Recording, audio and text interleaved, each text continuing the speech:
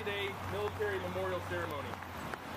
As we begin this day of commemoration and celebration, it is fitting that we begin at this place, remembering the 1,253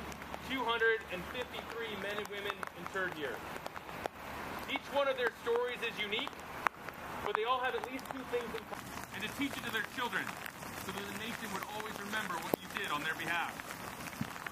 And before Jesus' sacrificial death on the cross, you instituted another meal, Holy Communion, instructing the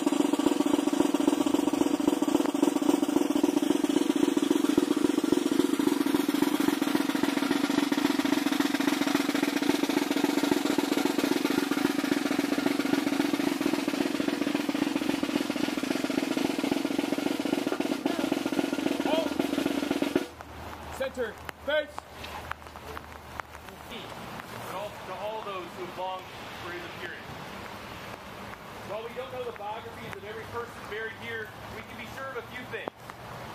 Each one of them had sports to run. They were born in a given time, at a given place, and their lives took a certain path. Only partially in their that was keeping marriage vows or an oath they took to defend the nation.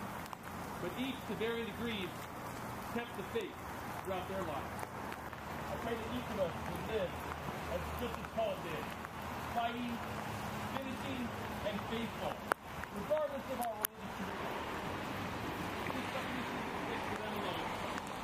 for all those buried here. There was no draft at that time, and his loyalties might have even resided with his birth country. But he did serve becoming a Marine, put on the uniform and served in the military ranks as Americans. Private Harry Myers Ashball, United States Marine Corps, we say your name and we remember your story. Semper Fi.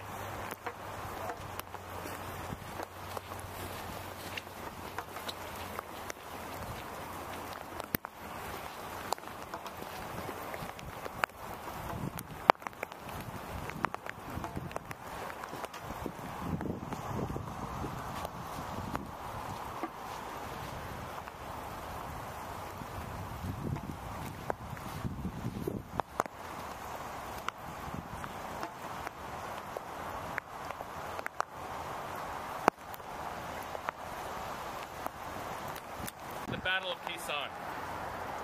He retired and returned to a well-deserved quiet life in Ketchikan. He died in 1986 at the age of 61.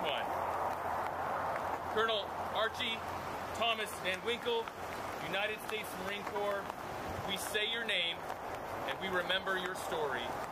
Semper Fi.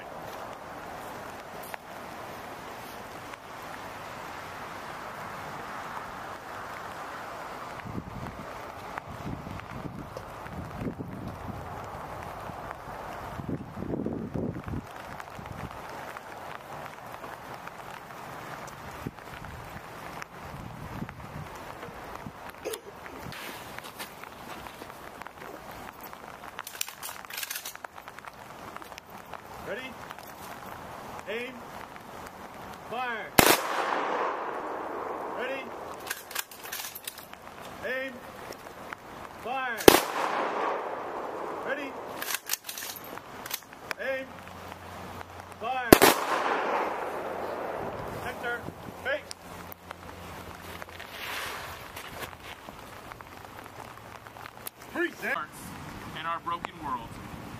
We know that you are faithful and will do it just as you have promised. Amen. At this time, the